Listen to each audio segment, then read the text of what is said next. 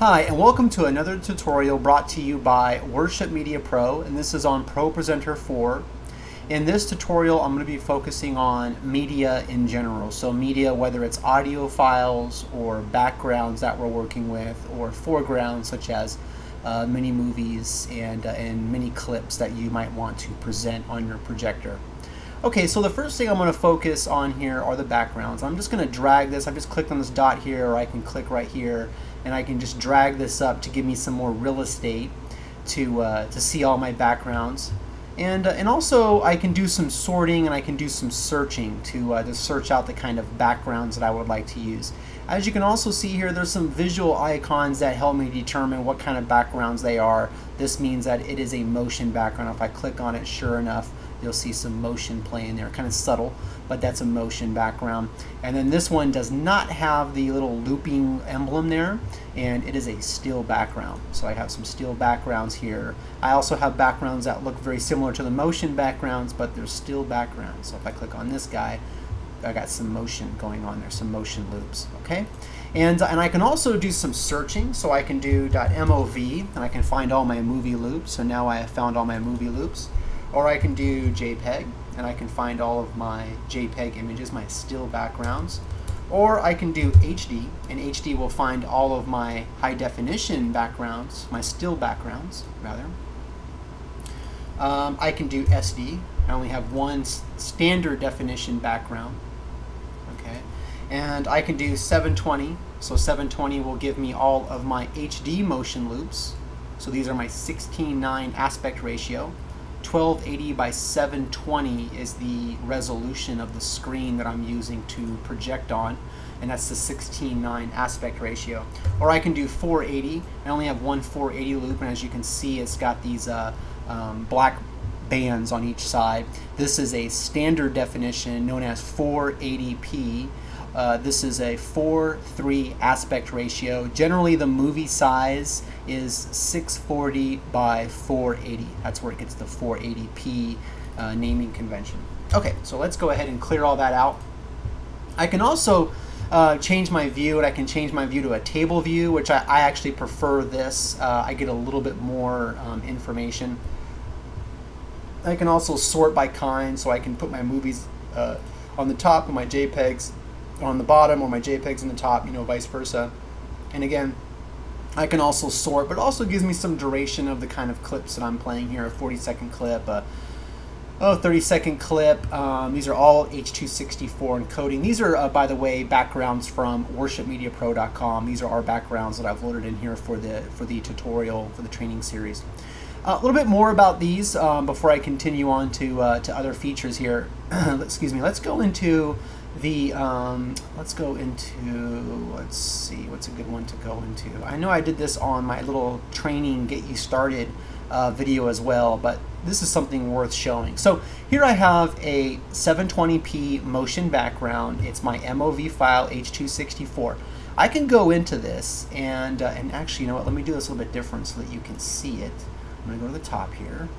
Alright and uh, make sure I got the HD one there. Okay there we go and I'm going to right click and I'm going to go to property.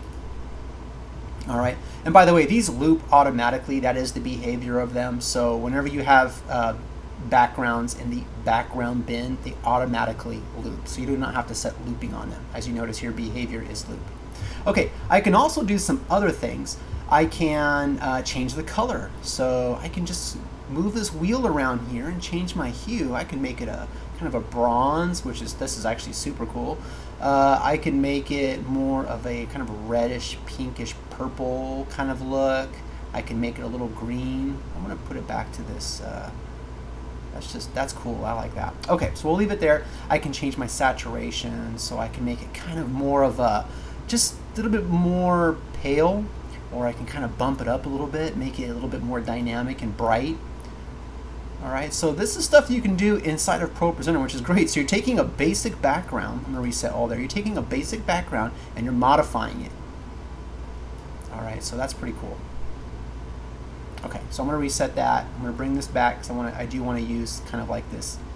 Now let's use that because that's actually a little bit more breathtaking. And also, this is my rate, my speed. Uh, right now, it's this is the standard speed. As you can see right here. So that's pretty good actually, that's good motion. Some of them are a little bit slower, you might want to bump them up. Let's say you got a little bit more of an upbeat song and and you're putting the lyrics to uh, a little bit more faster paced song. Maybe you want to add a little bit more excitement with the background movement. You can just bump up the rate here. And as you notice now, look at the rate relative to the to the standard rate. So I can bump that up. All right, I'm gonna leave it just like that. All I do is close the box. That does save it. Okay, so I close the box. And if I click on it again, there you go. Now you have the new color and, uh, and the faster rate. So uh, pretty amazing. You can go back in and reset all that and, and have it uh, back to the way it originally was. But I mean, that's pretty amazing. You can just go in and modify these things. All right, so uh, enough of that. We'll leave that one running there. Let me put it back to my thumbnail view here. Now I have this other bin called foregrounds. Foregrounds is for like little mini clips, uh, uh, little mini movies that you're playing. These ones do not are th these backgrounds are. Oh, I'm sorry, these uh, files are not motion backgrounds. They are simply mini movies that you would be playing on your projector. You can put inside the foreground. Same searching capabilities, same listing capabilities. I do not have any in here for uh, for this tutorial. Okay, so that's that's backgrounds. All right, now if I want to apply a background to uh, to a song, real simple here. I have one example of a song. My category is song. I actually created a playlist called My Playlist. We're going to get into playlists and songs in other training series or other uh, training modules. But right now, uh, just really quick, I have uh, hey, I have my background that we've modified, and I'm using that for this particular song. So as I click through this song here, as you can see, I am playing Amazing Grace with that background. All right, a little bit too fast of a background for Amazing Grace, um, but I can swap it out really fast by just simply clicking on another background. Now I'm playing a different background with that with that song Amazing Grace. Okay, real simple to do. Real simple to just change out your backgrounds. All right, so let's put it back to uh, where's that guy at? Where are you at? Um, oh, I lost you. No, that wasn't it. Where are you? It's because it changed the color, threw me off. There it is. Okay. All right, so I'm just putting it back to that guy. Okay, and I can also uh, I can also apply the background to a Bible verse as well, or I can not. I can just simply drop out the background and have it as a still for a Bible verse. Okay, or I can um, drop out the background altogether and just have a black background by just clicking on No Background button here. I can wipe out all backgrounds, everything, and just fade to black and have nothing but black here. Or I can click on logo and present my logo. And where you modify this is if you go up to Pro Presenter and you go to Preferences, I'm gonna, yep, there we go, make sure I dragged it in there. Okay, and uh, here is where I load it under my Generals tab. I just go to change logo and I add my new logo. Make sure you add the logo to the aspect ratio that you're working with or the screen resolution. And where you find out and modify your screen resolution is clicking on the display tab. And again, mine's 1280 by 720 is my output screen. That's my 16:9 aspect ratio screen, widescreen and uh, just you know have the logo meet the, the, dimensions of that so it looks very nice and clean. As you can see it doesn't look clean here because this is just a preview pane. This isn't the actual presentation screen so th that's why it looks that way. Okay so we covered uh, backgrounds. We've covered uh, foregrounds. Now it's very simple to add backgrounds. You simply just drag and drop your background.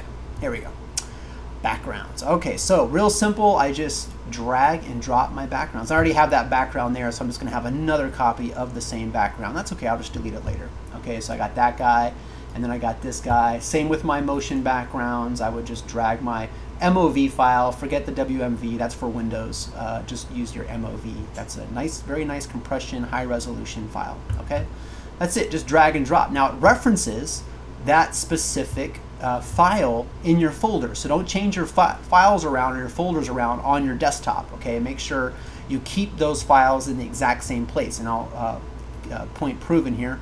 I just right click on it. Okay, I can right click on any one of these guys. Say reveal in Finder. All right, so I just revealed in Finder and voila, pulled it up right where I was at, tutorial resources. Okay, so uh, make sure you, uh, you